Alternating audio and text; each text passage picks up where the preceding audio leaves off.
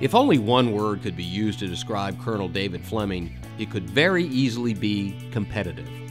And if you use two phrases that would be used to personify Colonel Fleming, they would be he never met a stranger and he was always improving. David was born in Flemingsburg, Kentucky in 1932. He was the descendant of Fleming County's founder, Colonel John Fleming. As a boy, David spent his childhood working on the family farm. A close friend of his affectionately described him as being a runt in high school, but he later grew up to be a hoss. He was very athletic, kept himself in good physical condition. He was the manager of the school basketball team and would hang around other athletes at school. He became a gym rat, a phenomenal racquetball player, too. A close friend said David developed himself and was a heck of an athlete in his older years. He took care of himself where others let themselves go. David would meet and marry Sybil Williams, a Bath County High School cheerleader. They would go on to have four children Tony, Diana, Candy, and Andrew. David enlisted in the Kentucky Army National Guard in 1949 and worked his way up to corporal in the 149th Regimental Combat Team, now the 149th Armor Brigade.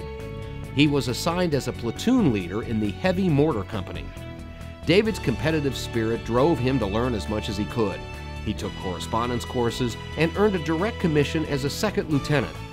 In 1956, the unit changed its mission to artillery and David, always wanting to improve, requested and was sent to Army Flight School, where he received his wings.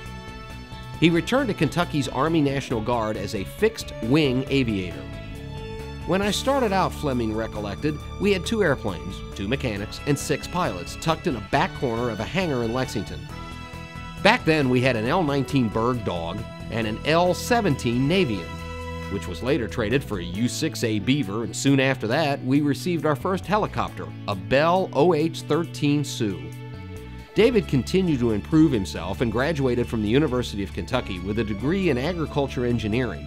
He continued his flight education as he completed Army Flight Test School. David went on to receive helicopter training in 1960 at the Air Force Flight School. It was held specifically for Army pilots at Gary Air Force Base in San Marcos, Texas, he returned to Kentucky where the fleet was enhanced by an additional number of the OH 13 and OH 23 Raven helicopters. Colonel Fleming was appointed commander of the Army Aviation Facility in 1970 and was the first brigade commander in the history of Army aviation in Kentucky. Not long after, Kentucky's first UH 1 Huey helicopter landed in Frankfort. The Army Aviation National Guard became an active player after Vietnam as their budget and aircraft inventory increased. Fleming was considered an excellent pilot and flew all types of aircraft in the Army Aviation National Guard inventory. During his tenure, the Kentucky Army Guard aviators flew 74,352 accident free flying hours in a fleet of military aircraft that grew to include the U 9 Aero Commander, the T 42 Cochise, as well as several variants of the UH-1 Huey. Colonel Fleming was known as a people person. Never met a stranger. He would walk up to someone, regardless of whoever they were, and asked them what they did and got to know them. His friendship and leadership helped a lot of Army Guard soldiers, both enlisted personnel and officers, by encouraging and promoting their education track to enhance their careers. Colonel Fleming had a good rapport with the National Guard Bureau and was instrumental in obtaining the first delivery of UH 60 Black Hawk helicopters to the United States Army National Guard on January 31, 1983. Colonel Fleming retired on January 31, 1988, as State Aviation Officer for the Army National Guard. The Army Aviation Support Facility for Kentucky in Frankfort was named in his honor in May 2000. He was credited with developing and strengthening the Army Aviation National Guard. David was always involved with his community.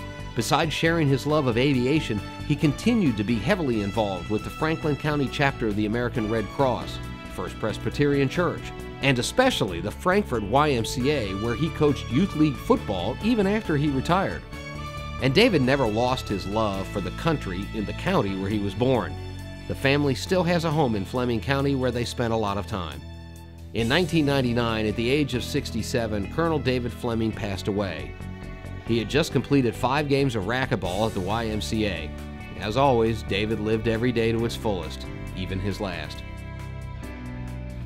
It is therefore fitting that Colonel David Fleming, a Kentuckian who was known as honorable, dedicated, and thoughtful, and always ready to give himself to those who know and served with him, be enshrined into the official Aviation Hall of Fame of the Commonwealth of Kentucky.